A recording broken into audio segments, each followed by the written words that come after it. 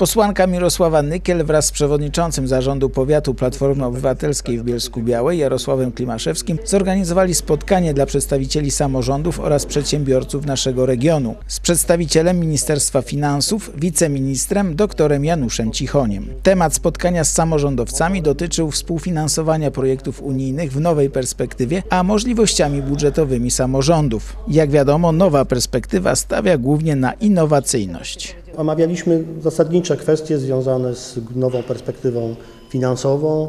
Próbowaliśmy e, rozwiać obawy samorządów dotyczące możliwości wykorzystania środków europejskich. Nie tylko informowałem o tym, jakie te środki potencjalnie do dyspozycji będą, a będzie to e, góra e, pieniędzy.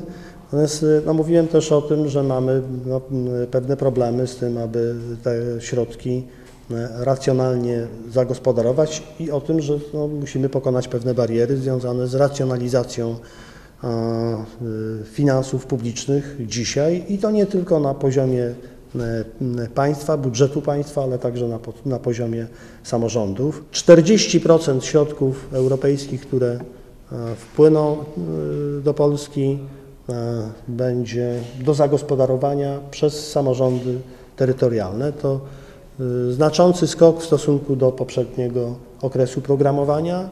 Y, jeśli y, chcieć to w nominalnych kwotach określić, to było 72 miliardy, a będzie 107 miliardów złotych w tej kolejnej perspektywie finansowej. To naprawdę spore wyzwanie, ale też szansa na taki E, cywilizacyjny skok y, y, Polski, który mam nadzieję będą odczuwały, odczuwali wszyscy mieszkańcy naszego kraju. To, co będzie świadczyło o konkurencyjności gospodarki, to są właśnie innowacje. W takich czasach żyjemy.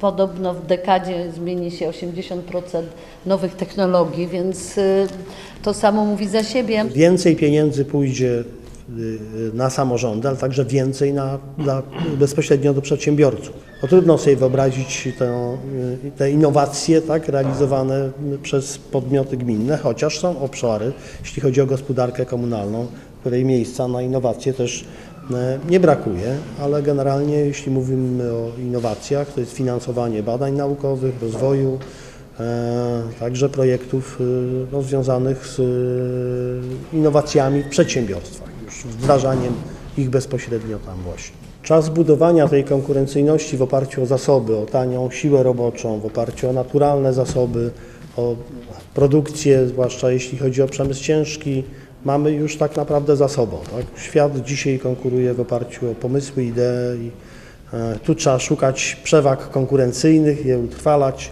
E, tego się nie da zrobić tak naprawdę bez zbudowania też kapitału społecznego, bez takiego porozumienia ludzi, wzajemnego wspierania się w osiąganiu e, swoich e, indywidualnych celów, ale z pożytkiem i dostrzeganiu tych korzyści innych.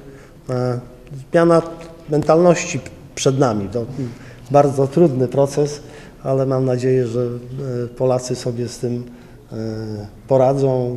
Wierzymy w zaradność, przedsiębiorczość polskich przedsiębiorców, e, bo na tym możemy budować tą, tą konkurencyjność. Natomiast podczas spotkania z przedsiębiorcami rozmawiano o jednolitości i jednoznaczności przepisów dla małych i średnich przedsiębiorstw, które są głównym motorem napędzającym gospodarkę.